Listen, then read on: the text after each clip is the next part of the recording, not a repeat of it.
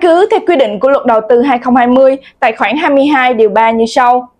Tổ chức kinh tế có vốn đầu tư nước ngoài là tổ chức kinh tế có nhà đầu tư nước ngoài là thành viên hoặc cổ đông. Câu hỏi đặt ra là công ty vốn nước ngoài có được mua đất ở Việt Nam hay không? Hãy cùng công ty luật ACC tìm hiểu qua video sau đây.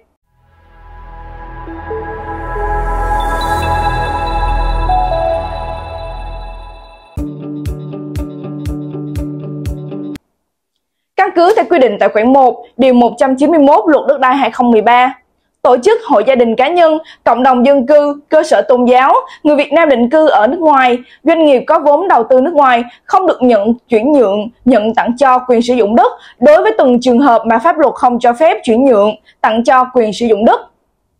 Như vậy, theo quy định trên, thì công ty có vốn đầu tư nước ngoài sẽ không được nhận quyền sử dụng đất và cũng sẽ không được phép mua đất để sản xuất kinh doanh. Doanh nghiệp 100% vốn đầu tư nước ngoài thì không được phép mua đất ở Việt Nam. Tuy nhiên, nếu công ty bạn có nhu cầu sử dụng đất để xây dựng cơ sở sản xuất, kinh doanh thì có thể tiến hành thuê đất tại Việt Nam.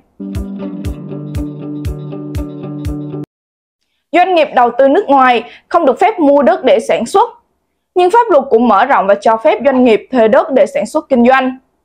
Thực chất là hình thức nhà nước giao đất có thu tiền sử dụng đất. Căn cứ tại điểm B khoảng 1, điều 169 Luật đất đai 2013 quy định, doanh nghiệp có vốn đầu tư nước ngoài được nhận chuyển nhượng vốn đầu tư là giá trị quyền sử dụng đất theo quy định của chính phủ, quy định cụ thể tại điều 39 Nghị định 43/2014 Nghị định Chính phủ. Và tại điểm D khoảng 2 điều 174 quy định, tổ chức kinh tế được nhà nước giao đất có thu tiền sử dụng đất cho thuê đất thu tiền thuê đất một lần cho cả thời gian thuê, có quyền góp vốn bằng quyền sử dụng đất, tài sản thuộc sở hữu của mình gắn liền với đất để hợp tác sản xuất, kinh doanh với tổ chức, cá nhân, người Việt Nam định cư ở nước ngoài. Doanh nghiệp có vốn đầu tư nước ngoài theo quy định của pháp luật.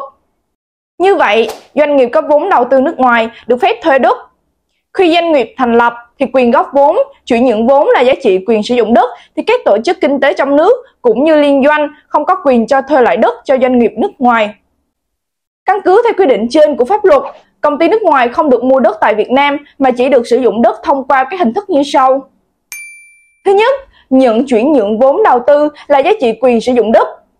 Thứ hai, nhận quyền sử dụng đất thông qua việc nhà nước giao đất để thực hiện các dự án đầu tư xây dựng nhà ở để bán hoặc để bán kết hợp cho thuê.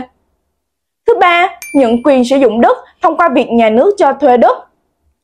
Và cuối cùng là hình thức nhận quyền sử dụng đất theo kết quả hòa giải thành về tranh chấp đất đai được Ủy ban Nhân dân cấp có thẩm quyền công nhận, thỏa thuận trong hợp đồng thế chấp để xử lý nợ, quyết định của cơ quan nhà nước có thẩm quyền về giải quyết tranh chấp đất đai, khiếu nại, tố cáo về đất đai, quyết định hoặc bản án của tòa án, nhân dân, quyết định thi hành án của cơ quan thi hành án đã được thi hành, văn bản công nhận kết quả đấu giá quyền sử dụng đất phù hợp với pháp luật. Như vậy, pháp luật Việt Nam chưa có quy định cho phép công ty nước ngoài có quyền mua đất tại Việt Nam. Trong trường hợp công ty của bạn là công ty 100% vốn đầu tư nước ngoài, khi muốn mở rộng kinh doanh sản xuất thì có thể tiến hành thuê đất tại Việt Nam và thời hạn thuê đất là không quá 50 năm. Trên đây là những thông tin chi tiết về việc công ty có vốn đầu tư nước ngoài có được mua đất tại Việt Nam hay không. Rất mong rằng quý vị đã có cho mình được những thông tin hữu ích. ACC với kinh nghiệm nhiều năm trong lĩnh vực pháp lý, luôn sẵn lòng cung cấp đến quý vị những dịch vụ pháp lý nhanh chóng và tiện lợi nhất. Mọi thắc mắc xin vui lòng liên hệ trực tiếp để nhận được những tư vấn tận tình và đừng quên truy cập website accgroup.vn và nhấn đăng ký kênh youtube công ty luật ACC để cập nhật những thông tin mới nhất về pháp luật. Chân thành cảm ơn và hẹn gặp lại quý vị ở những video tiếp theo.